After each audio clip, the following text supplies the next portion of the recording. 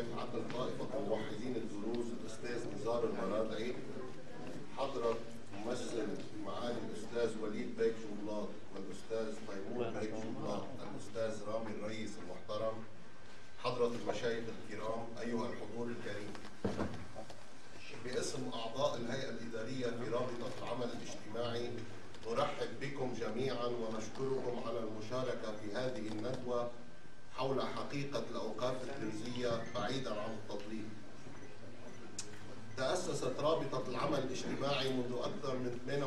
سنة من قبل مجموعة من الخريجين والمثقفين الذين رفعوا شعار التنمية البشرية والاهتمام بالإنسان وهي تضم نخبة من الجامعيين في مختلف الاختصاصات ومن أبرز أهدافها نشر الوعي والثقافة وتشجيع التعليم العالي وبالتالي إن إقامة الرابطة لهذه الندوة يدخل في صلب دورها الثقافي والاجتماعي. وقد أحبت رئيسة الرابطة الأستاذة ماوية الزهيري أن تتحدث في هذه المناسبة باختصار شديد عن أبرز ما تقوم به الرابطة مؤخرا. فلتتفضل.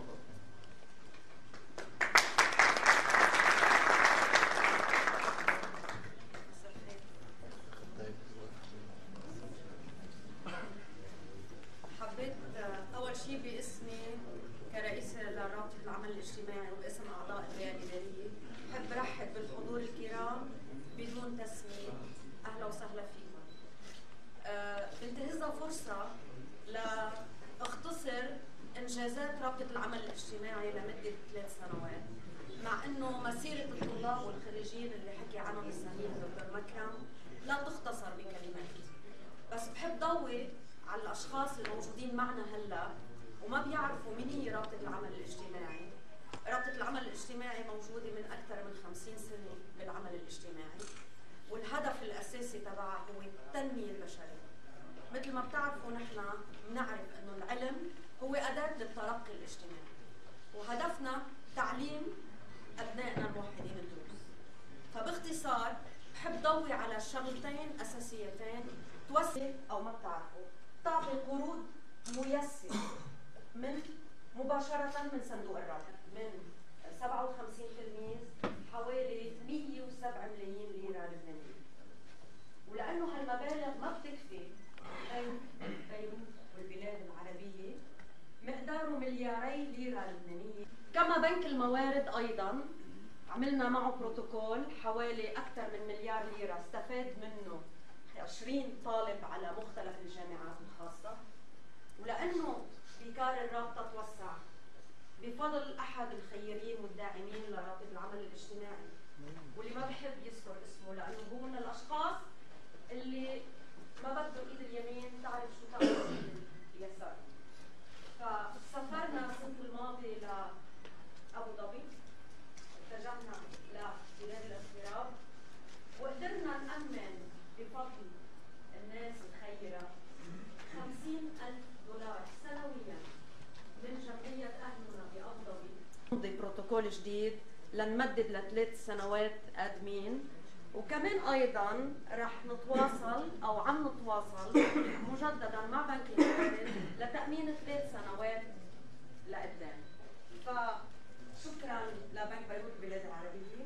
شكرا لبنك الموارد تعرف البروتوكول بيناتنا آه، شكرا لجمعيه اهلنا بابو ظبي وما بوسعني الا لكم انه مركز الرابطه آه، بجاركم هون آه، بتامل انه تشاركونا لأنه اهلنا مركز الرابطه بعد 20 سنه ما ضرب بمسمار فاهلناه ان شاء الله بنكون عند حسن الظن دائما بوجود الخيرين امثالكم وختاما بس بشكر القيمين على هالقاعه اللي قدموا لنا اياها كون إنه محبين الدروس كتار آه، المعرفة لل- والتشويق للموضوع الندوة هو على نار حامية. فأنا بترك للمحاضر الكريم المجال أنه يحكي وأهلا وسهلا فيك.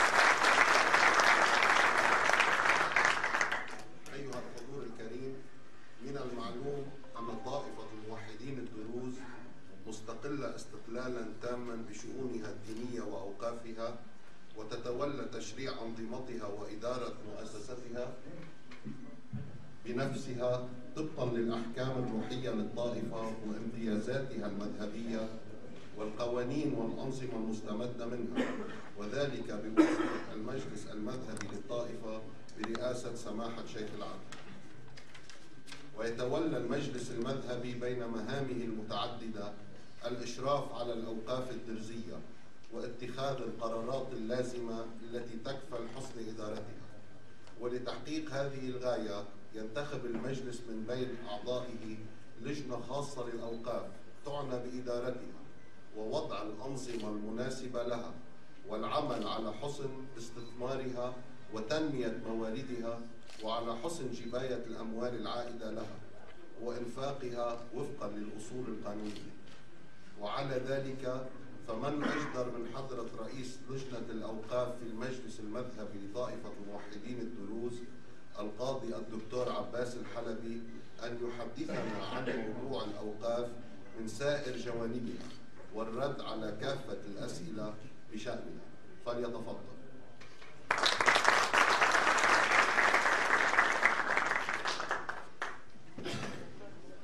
مساء الخير للجميع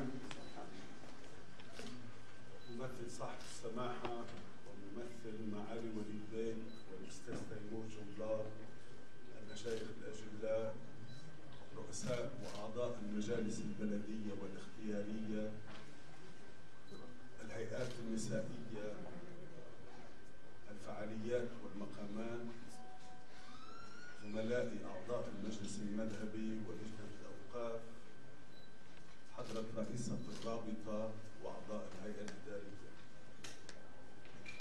أيها الأصدقاء أشكر رابطة العمل الاجتماعي رابطة الجامعيين الدروز على دعوتها لي أن أكون متحدثا على منبرها وأنا عندما آتي إلى مركز الرابطة فإنما آتي إلى بيتي وإلى مطلع شبابي وأطل منها وعبرها على ذكريات عزيزة على قلبي لأن الرابطة شكلت لي خطوة أولى في تعاطي الشأن العام الدرزي الذي توجت مساره بتوليه منذ سنة 2006 برئاسة لجنة الأوقاف في المجلس المذهبي. ولا أزال. إنها مهمة شاقة وشائكة.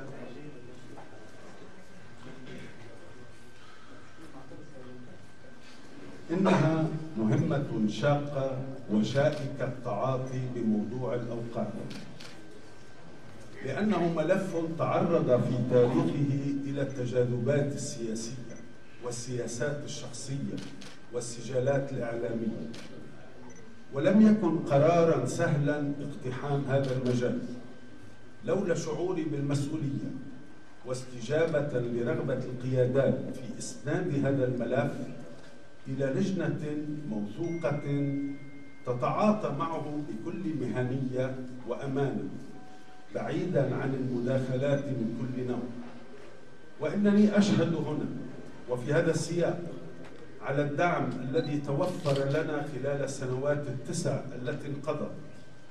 وكان هم الأوقاف حاضرا لدى الجميع في ضرورة تنظيم الملف وتوجيهه وجهته الاستثمارية السليمة ضمن قيود القانون الذي يرعى شؤونه وهو قانون 12 حزيران 2006 المتصل بتنظيم شؤون طائفة موحدين الدروز من المفيد الإشارة إلى أننا عندما تسلمنا هذه الأمانة لم نتسلم سجلات ولا ملفات ولا محاسبة ولا حتى حصرا للأوقاف. ذلك أن هذه المسؤولية كانت موزعة لدى جهات عديدة لا تعاون بينها بل سجالات ومواقف لم يسلم الإعلام في عكس وجودها. فكانت المهمة الأولى لنا هي في لم الشمل وتجميع المحفظة التي هي بالأساس غير منظمة وأحيانا غير موجودة نتيجة غياب المجلس المذهبي عشرات السنوات. وقد اقتصر العمل في البداية على نفر محدود من الأشخاص غير المتفرغين للقيام بالعمل. ولكن تدفعهم الغيرة والحمية لتنفيذ المهمات. إلى أن تم تعيين الجهاز الإداري المتفرغ للمجلس وأصبح للأوقاف مديرية على رأسها مدير ويتبع له رؤساء مصالح ودوائر وموظفين. كما أن للمجلس مديرا عاما جرى تعيينه. وهنا بدأت ورشة إعداد السجلات ومسكها. وإنشاء محاسبة نظامية وتوفير العدد الأكبر من المستندات المتصلة بالعقارات التي جرى إحصاؤها ثم أرشفتها ثم إعداد ملف لكل عقار ثم بطاقة تعريف. وقد تم ذلك بإشراف لجنة الأوقاف وسماحة شيخ العقل رئيس المجلس. قد لا يجدي نفعا كثيرا الغوص عميقا في هذه الورشة وشرح أبعادها ومضامينها. يكفي أن أشير اليوم وبكل راحة ضمير أن الأوقاف الدرزية لم تعد سائبة وأنها محصورة وأننا استردينا جميع العقارات التي كانت في ولاية بعض الأشخاص والمرجعيات التي كانت في عهدتها وأصبحت تاليا جميع الأوقاف في عهدة المجلس المذهبي. من المفيد الإشارة منذ أول يوم تسلمنا فيه الأمانة. رافقتنا شائعات وأخبار. من أن الأوقاف الدرزية هي من أغنى الأوقاف وأن لديها إمكانيات نقدية مودعة في المصارف وأن بإمكانها أن تسد كل حاجات الموحدين الدروز على صعد الاستشفاء. والتربية والتعليم والمساعدات الاجتماعية. وفي هذا السياق أيضا تجددت هذه الأقاويل وتناولتها بعض وسائل التواصل. وكنا نتمنى من المدعين بهذا أن يدققوا قليلا بالمعلومات الحقيقية وأن يستقوا من مراجعها المسؤولة المعلومات حتى نفهم ما إذا كانت هذه الحملات تهدف إلى الخير العام أم فقط لتسجيل المواقف؟ وهنا اسمحوا لي أن أبدي الملاحظات التالية. نحن نعرف أن لا أحد في تاريخ الأوقاف مر عليها إلا وتعرض لحملات شخصية ومحاولات النيل ولكننا هنا نناشد الجميع. تحييد ملف الأوقاف عن كل الصراعات والسجالات لأن القائمين على الأوقاف يبذلون الجهد والوقت والعمل والمتابعة لوجه الله الكريم دون منة ودون حساب. اثنين ربما قصدنا سابقا في عدم التواصل وإطلاع الكافة على عملنا. ولكن أيضا ولسبب عدم وجود وسيلة إعلامية يتعذر علينا الوصول إلى العديد من الناس والمناطق. ونعتمد في مسألة التواصل على صفحة المجلس المذهبي الإلكترونية وبعض الزيارات التي قمنا بها إلى بعض المناطق بتواريخ سابقة. ولهذا الغرض نضع بين أيدي الموحدين اليوم وقد صدر اليوم كتيبا شاملا. كتاب هو حقيقة بسميه كتيب ظلمة هذا كتاب. يتحدث عن إنجازات اللجنة وإدارة الأوقاف مرفقا بها جداول مالية شفافة منذ 2007 لغاية تاريخه وهو تاريخ تأسيس الإدارة. مرفقا بها ملخصا عن المحفظة الوقفية المحدثة. وفيها بعض التصنيفات المتصلة ببعض المناطق التي تتوافر فيها عقارات قابلة للاستثمار التجاري والزراعي والصناعي وسوى ذلك. ثلاثة اعتمدنا خطة عمل بعد الفراغ من التنظيم على عدة محاور. الأول زيادة المداخيل. الثاني إقامة الدعاوى حيث يجب ومتابعة الدعاوى المقامة سابقا من وعلى الأوقاف ودعاوى جديدة. الثالث إعداد التصنيفات المناسبة للعقارات بعد استطلاع الأنظمة والبلديات. أما في زيادة المداخيل عمدنا إلى تشجيع الاستثمارات في العقارات الوقفية. في شويفات وبعولتي خصوصا استثمارا صناعيا وتجاريا. وأنجزنا تجديدا في بعض عقارات علين متهالكة. وبعض الاستثمارات الزراعية في البنين وأنجزنا الاتفاق التاريخي مع أهلنا في بيروت بخصوص العقار 2046 المسيطري وأجرنا المحلات العشرة في واجهة العقار. وزدنا الاستثمار في بعض عقارات بيروت لا سيما الموقف في مارليس. وأجزنا إقامة العديد من الملاعب الرياضية في عدة مناطق في الجبل والبقاع وفتحنا فرعين للجامعة اللبنانية في عباية وظهر الأحمر. كما أنجزنا ترميم مقام السيد الأمير في عباية وسنباشر بإجراء الترميم في مقام الست شعوالي في البقاع الغربي والمعالجة مستمرة في مقام النبي أيوب في ميحة كما أنجزنا بناء في البدنين من أموال التسويات في أوقاف الشيخ أحمد أمين الدين وبناء قاعة الشيخ أمين الدين في عباية ومعهد الأمير السيد في عباية الذي فتح أبوابه لاستقبال المشايخ الطلاب لإعدادهم لمهمتهم الدينية السامية. أما بشأن التعاون فإننا بالتعاون مع اللجنة القانونية في المجلس المذهبي ومكتب المحاماة وكيل المجلس وسائر المحامين. نجحنا في استرداد معمل البلاط في العقار 2046 المصيف وصدرت لمصلحتنا سبع قرارات قضائية بعضها في الدرجة النهائية. محكمة التمييز لإثبات ولاية المجلس المذهبي على العقار المذكور ورد كل الادعاءات التي تحاول أن تسلخ هذا العقار من ولايته الشرعية القانونية. مما سمح لنا بإنجاز الاتفاق مع لجنة أهالي وقف بيروت من جهة ورد ادعاءات البعض في محاولة سلخ هذا العقار عن ولاية المجلس. والإنجاز الأهم هو في كسب الدعوة المقامة بوجه مستثمر المدرسة المعنية في توصيف العقد الجاري بينه وبين الأوقاف على أنه عقد استثمار وليس عقد إيجار يخضع للتمديد القانوني.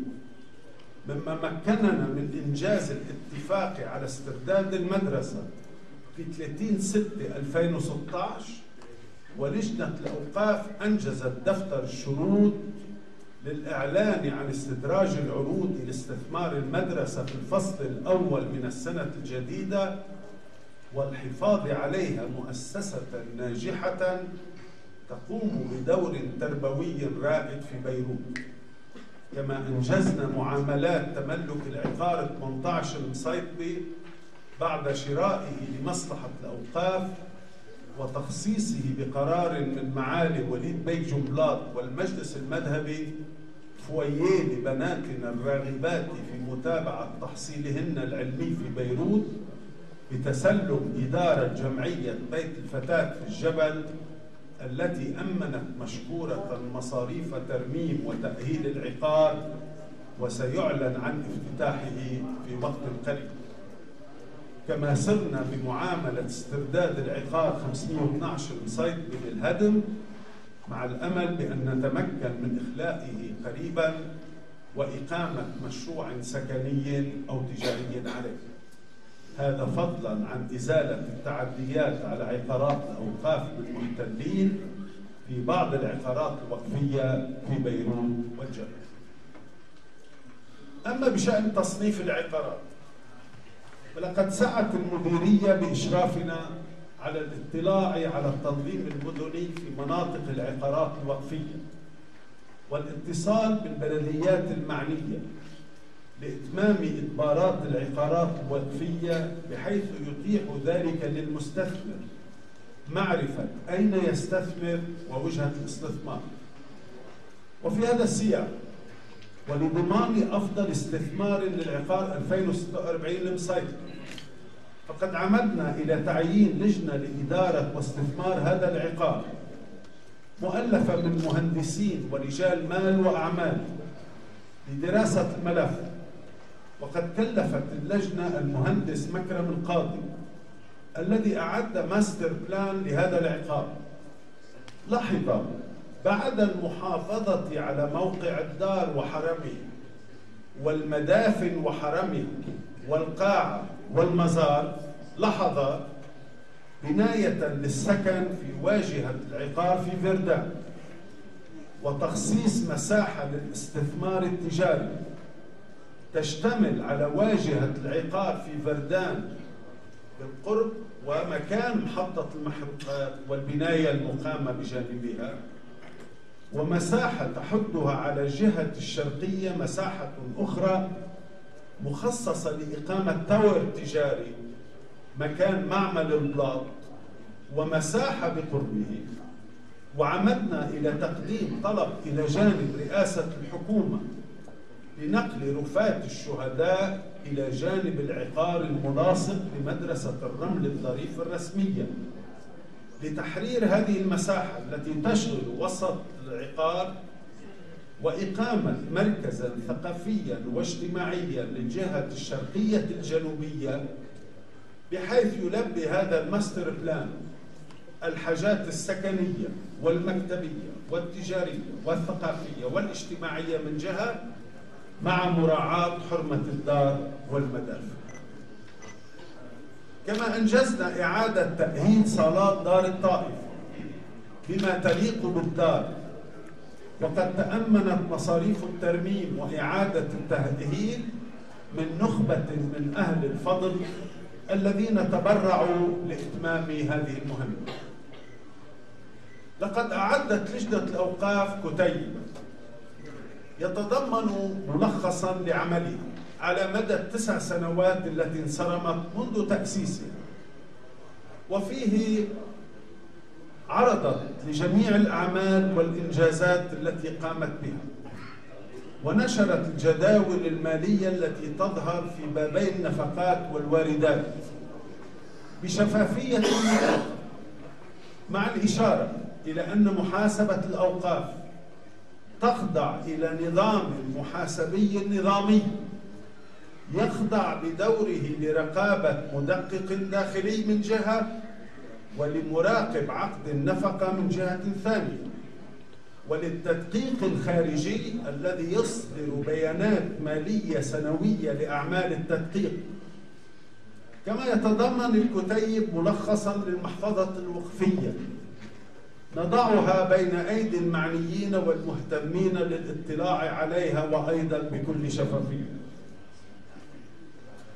مع الإشارة إلى أن أوقافا كثيرة تخص عائلات وقرى ومعابد. تخرج عن صلاحية لجنتنا المباشرة وإن كان لنا حق الإشراف عليها. ولهذه الغاية أعددنا نظاما لإدارة أوقاف القرى والعائلات. وأصبح نافذا ويوزع على اللجان لكي نطبق نظاما واحدا على جميع اللجان دون عرقلة مهامهم وإنما لوضع العمل في إطاره النظامي الصحيح. والحقيقة كنت أتمنى أنا أن أوزع على كل فرد منكم هذا المنتج ولكن تفهموا ليش متردد نحن بكرة عندنا هيئة عامة. بكرة بعد لا يصح أن أضع هذا المستند. قيد التداول قبل أن يسلم إلى أعضاء المجلس المذهبي رئيسا وأعضاء. بس أنا بوعدكم إنه ابتداء من بكرة الساعة 5 بعد الظهر الكميات الكافية موجودة في دار الطاقة. فمن يرغب إنه يستحصل عليها توزع مجانا وبتمنى عليكم تطلعوا لأنه هذه وثيقة تدون عن تسع سنوات توليت فيها مسؤولية الأوقاف. إن آلية عمل اللجنة محددة بموجب القانون والنظام وتؤخذ القرارات وينظم فيها مستخلصا للتنفيذ ومحضرا للمصادقة والاطلاع وتخضع القرارات المالية لسلطة مجلس الإدارة. ويجري استيفاء الواردات وصرف النفقات ضمن بنود الموازنة المقررة في الهيئة العامة للمجلس المذهبي. وتصرف بموجب قرارات صادرة عن مجلس الإدارة بعد استطلاع رأي اللجنة المالية فيه وإشراف رئيس المجلس. أما بشأن صلاحية اللجنة فإن لها عقد الإيجارات والاستثمار لمدة خمس سنوات وكل ما عدا ذلك وأكثر لسلطة الهيئة العامة وفق الآلية المحددة في القانون لجهة النصاب والأكثرية ولكن تقتضي الإشارة أيضا إلى أن لا مدخول للمجلس المذهبي إلا بواسطة واردات الأوقاف. وتاليا يخصص جزء من هذه الواردات لتغطية موازنات سائر لجان المجلس والمجلس نفسه. مع العلم أن اللجنة الاجتماعية تسعى دوما لجمع التبرعات تمكينا لها من توسيع قاعدة المستفيدين من عطاءاتها وتحقيق برامجها. يجري نقاش كبير داخل المجلس لجهة تحديد مدد الإيجار والاستثمار. فمن جهة تبدي بعض الجهات تحفظا على المدد الطويلة. ونحن نعتقد أن المدة تحددها قيمة المبالغ المستثمرة. مع الإشارة إلى أن الأوقاف الإسلامية والمسيحية تذهب إلى حدود التسعة وتسعين سنة كمدد استثمار للمشاريع الكبيرة. كما يجري نقاش معمق لجهة ممارسة الحق بالاستبدال لبعض العقارات الوقفية عينا للعين أم نقدا للعين. وقد أبدت اللجنة القانونية رأيا لجهة الإجازة بالاستبدال بواسطة النقد في حال تحقيق النفع للوقف وشرط الإنفاق على العين والاستثمار فيه. وهذا نقاش لم يحسم بعد على أننا نعتقد أننا في ظل الأوضاع الراهنة وانحسار الوضع الاقتصادي قد نضطر إلى سلوك هذا السبيل استثنائيا إلا أن القرار في التوجه إليه يبقى خاضعا. لموافقة القيادات السياسية والروحية فضلا عن المجلس المذهبي لإجازته وليس قرارا مقصورا على لجنته طبيعي أن نقول أن الأوقاف هي في خدمة المجتمع وقد تم التداول به في الفترة الأخيرة. ومهما كانت النوايا وراء إطلاق هذا العنوان إلا أن علينا كجهة مسؤولة أن نوضح الأمور وهي على النحو التالي. إن الأوقاف الدرزية تعمل وفق قانون تنظيم شؤون طائفة موحدين الدروز. الذي حدد مهامها وصلاحياتها بموجب المواد تسعة وأربعين وما يليها منه. وقد أناطت هذه المواد باللجنة مهاما محددة وخولها صلاحيات محددة.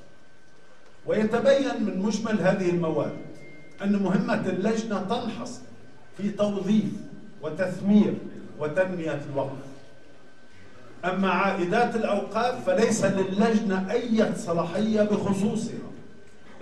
ذلك أنه وفق آلية النظام المالي المقر في المجلس فإنها تذهب إلى الصندوق الموحد للمجلس وصلاحية التصرف بالأموال تعود إلى مجلس الإدارة وثم الهيئة العامة الذي يقر موازنة المجلس ويحدد أبواب الواردات والنفقات فصلاحية الإنفاق على قضايا الاستشفاء والتربية والحاجات الاجتماعية يعود بحسب القانون عينه إلى اللجنة الاجتماعية في المجلس. الخاضعة بدورها إلى الآلية المحددة في القانون والنظام المبينين أعلاه وفيما خص أعمال هذه اللجنة يرجى مراجعته ومراجعة الصفحة التابعة لها على صفحة المجلس المدني والاطلاع على البيانات الصادرة عنها والموزعة منها. ويتبين من نشاط اللجنة أنها تنفق موازنة محددة سنوية على المساعدات الاجتماعية والمساعدات التربوية وأن لديها اتفاقيات عديدة مع العديد من المستشفيات التي تتولى فيها اللجنة تغطية جزءا من النفقات التي يتكبدها المريض. لتزويده بالمعطيات أو إلى ماذا استند في المزاعم التي يروجها. لا أحد أيها الإخوة والأخوات. يبقى أن أشير في الختام إلى أمرين مهمين. شملت حملات التحريض المستمرة منذ فترة بعض المؤسسات الاستشفائية كمستشفى معين وزين. وإنني من موقعي كرئيس مجلس أمناء المؤسسة أود أن أشير إلى الظلم الكبير الذي يلحق بالمؤسسة والعاملين فيها والمستفيدين من خدماتها نتيجة هذه الحملة. وأكتفي بإيراد بعض الأرقام التي تعطي فكرة عن خدمات هذه المؤسسة وتسفيه مطلقي الشائعات المغرضة لغاية شهر 9 2015 عدد الدخول 8694 إذا كفينا على نفس الوتيرة تنتهي السنة ب 11592 دخول بالمستشفى. عدد الأيام الاستشفائية 48758 عدد العمليات الجراحية 3089 عدد المعاينات الخارجية 26782 عدد الفحوصات المخبرية والشعاعية والتنظير 405237 هذا هو المشروع الذي يتعرضون له. والناحية الثانية هي موضوع المشروع الإسكاني الذي قامت ببنائه جمعية الغد على أرض قدمها تبرعا معالي وليد بيك جملة. فقد أمنت الجمعية التمويل عن طريق الإقراض وأقامت بناء متضمنا 64 شقة. مساحة كل شقة حوالي 140 مترا مربع. أنجز البناء. وهي تضع هذه الشقق بتصرف شبان شبابنا الراغبين في تملك منازلهم. لقد شوهت الشائعات هذا المشروع ونعتته بشتى النعوت منها أنه للتجاره والجمعية لا ترغب في تحقيق الربح بل فقط لاسترداد كلفة الدين أصلا وفوائد ولإبقاء رصيد جديد على ضآلته يشكل خميرة لاستكمال المرحلة الثانية من البناء لتوفير عدد أكبر من الشقق توضع بتصرف الشباب. ولهذه الغاية وتعميما للاطلاع طبعنا هذا الكتاب المتضمن سجلا شبه كاملا لإنجازات اللجنة في ولايتها الحالية وبعض المحطات الأساسية من ولاية اللجنة السابقة والجداول المالية والمحفظة الوقفية نأمل أن نضع حدا للشائعات المغرية وأن نفتح سويا في سبيل الحوار نفتح الحوار في سبيل أوقاف محافظا عليها من جهة ونامية ومستثمرة ومزدهرة من جهة ثانية لكي يزدادوا دخلها وتنفق أموالها على سد الحاجيات الكثيرة للموحدين الدروس إلا أنها لا تستطيع أن تحل محل الدولة ولا محل المجتمع المدني. وإن هي شكلت قاعدة أساسية وصلبة من الوجود الدرزي في البلاد بعتذر إذا أطلت أشكركم والسلام عليكم شكرا دكتور عزيز على مشاركة مهم عن الأوقاف رح ناخذ أسئلة من الحضور الكريم كتابة إذا في وصلنا بعض الأسئلة خلال كلمة دكتور عباس رح نطرحها عليه واللي عنده أسئلة في أستاذ مجدي عم يوزع أوراق يلي بيحب يكتب السؤال ويزودنا فيه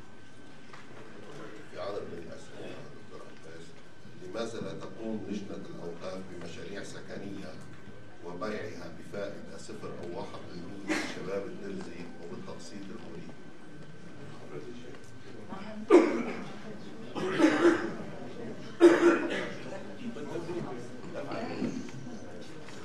حقيقة يا يا اخوان على ارض تعود للاوقاف الدرزية بموجب القانون لا نستطيع البيع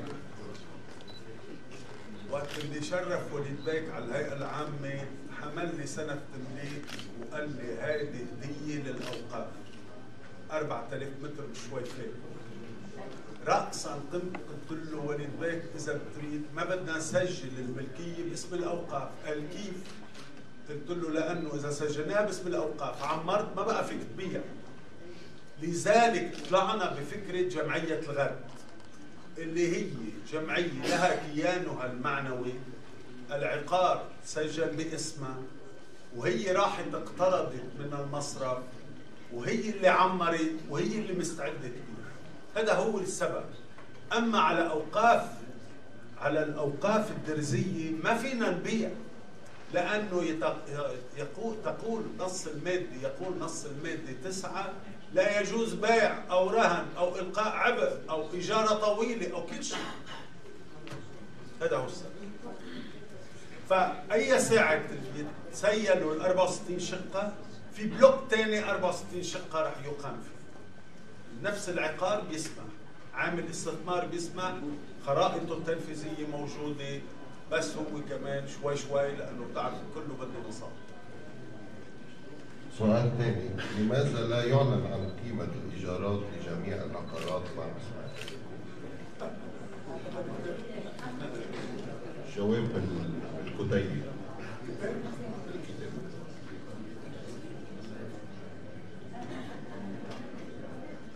لماذا لا على على كل حال فوق الكتاب كله راح يكون على ال website تبع المجلس اللي بتولاها السيد الممثل الممثل صعب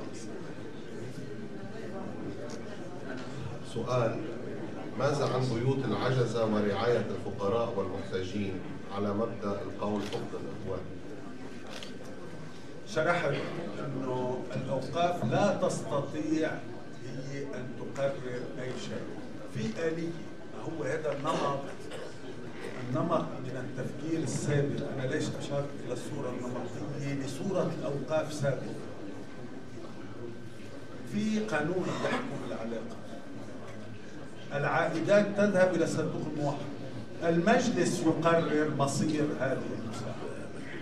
وأنا أعتقد أنه لو توفرت الأموال أكثر اللجنة الاجتماعية لا تقصر بهذا الأمر بس الحقيقة لا.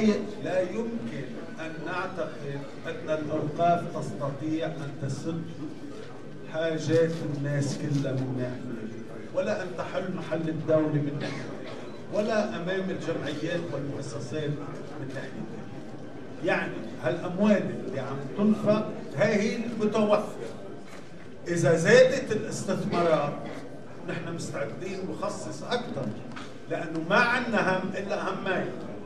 هم زيادة الاستثمار في عقارات الأوقاف لتزيد استثمارها والأمر الثاني سد الحاجية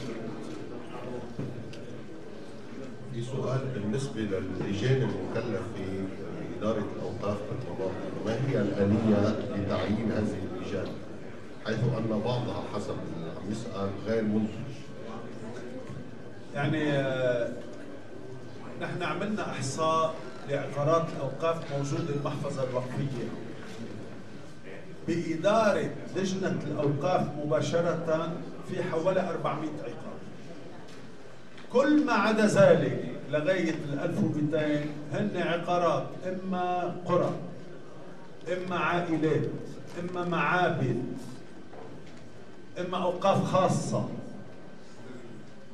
آه، ذري ما ما لنا علاقة فيه، ذري لأن من صلاحيه من صلاحية المحاكم المذهبية. مش هذه العق... هذه العقارات الوقفية آه، هي بإشراف لجنة. كيف بتتم آلية التعيين؟ إما العائلة إما القرية إما القيمين على المعبد يقترحون بموجب كتاب خطي موقع منهم يحال إلى مقام مشيخة العقل باقتراح التعيين. وهذا الاقتراح يرد إلى لجنة الأوقاف اللي تجري تحقيقا بسيطا بس لنأكد أنه هناك شبه إجماع على هذه الأسماء. وإذا كانوا الكل سيرتهم حسنة وأهل لهذه الأمانة. تأخذ لجنة الأوقاف قرار بالتعيين وتحيل إلى سماحة شيخ العقل إصدار التكليف. فيصدر شيخ العقل قرار التكليف اللي بيحدد لكل لجنة آه، مدتها وصلاحيتها. ونحن ذكرت على نظام أوقاف القرى والعائلات اللي أقريناه واللي عم نوزعه تدريجيا مع كل تعيين لجنة لحتى كل هذه اللجان تخضع إلى نظام موحد وبكل راس سنة عند ختام السنة المالية تقدم كل هذه اللجان إلى مديرية الأوقاف جداول بالمحاسبة. شو فتلة وشو طلع منها؟ هلأ بعضها غير منتج عندك هذا كلام بالنسبة لإلي نسبي. لأنه بعضها المنتج جدا تعرضوا إلى آه، إلى كثير من المشاكل. لأنه قيل إنه كثير منتجة والبعض الآخر اللي منه منتج كانوا مطبقين عليه وساكتين ما حدا عم بيطالب فهذا شيء نسبي. لذلك بقول أنا إنه آه شوي شوي اللجان ستتعود إلى أنظمة وبيتحسن ادائها وطبعا في عندك لجان وما بدي فوت بتسميات بس بعرف أنا في لجان كثير قدرت عملت خطوات جبارة في تنمية الوقف اللي تابع لاختصاصها. بتمنى نستمع للإجابات عن الدكتور عباس شوي إذا تريد آه، ما هي الوسائل التي تعتمدون للحوار مع المجتمع وتحديد الحاجات في المناطق؟ وكيف تحددون أولويات إنفاق مال الأوقاف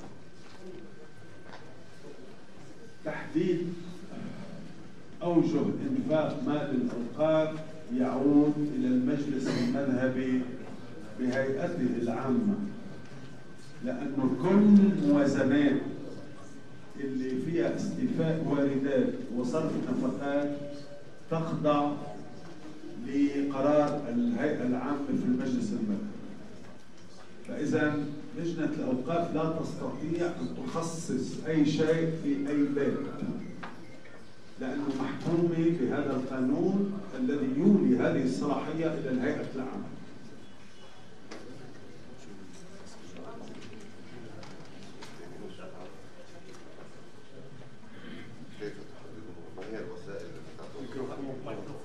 نحن ابوابنا مفتوحه وما تنسوا انه أنا صحيح رئيس اوقاف بس أنا كمان رجل حوار يعني الحوار هو خبزنا اليومي ورياضتنا اليوميه فأنا أتمنى أن نبقي آه، قنوات الحوار الموجودة دائما نحن سعينا بفترة من الفترات إلى زيارة تنظيم زيارات في بعض المناطق وبصورة خاصة إلى الهيئات الناخبة آه، في المجلس المذهبي اللي انتخبتنا لأنه بنشعر دائما أن موجب الإعلام له تاخرت آه، يمكن آه، بعض البرامج عن الزيارات بس نحن على استعداد ان نجدد هذا المسعى في المناطق وعزو هذا الكتاب بيساعدنا كمان على التواصل وإيراده على الصفحة الإلكترونية للمجلس. سؤال لماذا لا نبني مشاريع تنموية مثل مصانع أو مشاغل تتيح للشباب والشابات العمل ضمن مناطقهم على أملاك الوقف التي هي شاغلة؟ هذا يعني يعني القول بأنه بدنا نعمر مصانع يعني بيستهونوا يمكن إذا تمني نحن منا ضد تعمر مصانع ولكن كله يحتاج إلى دراسات وإلى أموال. أنت وقت بتروح على البنك إذا عندك مشروع صناعي قل له للبنك هيدي الأرض لإلي ارهنها واعطيني مصاري.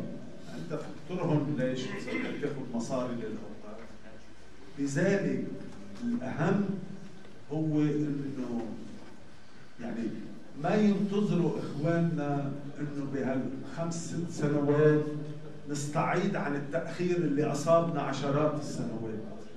القضايا يا إخوان هي بالتراكم. الناس بس صار في مجلس مذهبي طالبته بالنتيجة. أنا عرضت شوي شو استلمنا ووين نحن هلأ. عمل راكد وبدي بس يكون النفس شوي غير ظالم. لأنه اللي عم نقدر عليه عم نعمله بالإمكانيات الموجودة عم نعملها. أكثر نحتاج إلى أموال أكثر. كيف بدك تعمل أموال أكثر في بيئة استثمارية؟ آه، آه، مثل البيئة الاستثمارية في لبنان. يعني ما حدا اللي عم يفتح دكانة هالأيام عم عم يتردد يصرف حق دكانه فكم بالحري بالمشاريع بدنا نطول بالنا على بعضنا. ونكون بمطالباتنا شوي واقعيين مش لأنه ما منريد والله منريد بس إنه بدك أول شيء بيئة استثمارية مناسبة تقدر تستحصل على من أصحاب الأموال على أموال لتقدر توظفها. والشغلة الثانية إنه ما كان فيك تفوت ولا بمشروع ألزم اقتصم حالك. عم نقول نحن تجاوزنا هذه المراحل.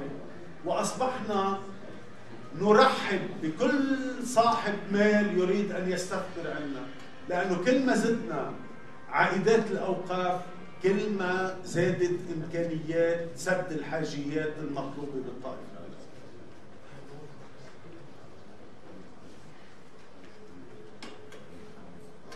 في سؤال هل من الممكن الإفصاح عن عائدات الاستثمارية للأوقاف؟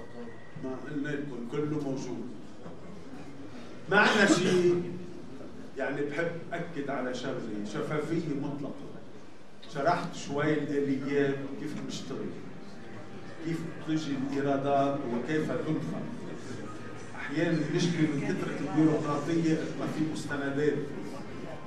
بس هذا كله بشفافية مطلقة. ما عندنا شيء نخبيه ما في قرش يصرف في المجلس المذهبي في غير مكانه. وخارج نطاق الموازنة المقررة في المجلس وخارج نطاق قرارات مجلس الإدارة. فرد لحاله ما في قرر شيء مهما على مركزه في هذا المجلس. شكرا للحضور الكريم. اتمنى بعد في أسئلة يا دكتور؟ يعني الشفافية لازم تنطرح كل الأسئلة. يعني مين كتبت أكيد بس في أسئلة. المحاضره نسمع كمان أكيد إحنا أنا استعرضت الاسئله الاسئله المتكرره أو الشبيهه ببعضها جاوب عنها الدكتور عبد العزيز في اجوبه كثيره موجوده بهذا بهذا الكتيب للجميع حضورهم واهلا وسهلا فيكم.